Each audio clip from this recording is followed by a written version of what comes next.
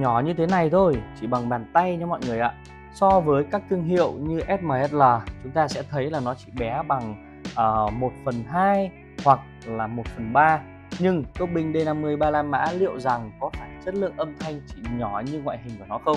Xin thưa với mọi người, mỗi một hãng sẽ có một công nghệ, một bí quyết cũng như là một cách thức làm việc khác nhau. Người ta sẽ cho những sản phẩm với chất lượng khác nhau. Ở đây D50 35 mã sử dụng rất nhiều linh kiện nhỏ nhưng chất lượng để tích hợp trong sản phẩm của mình.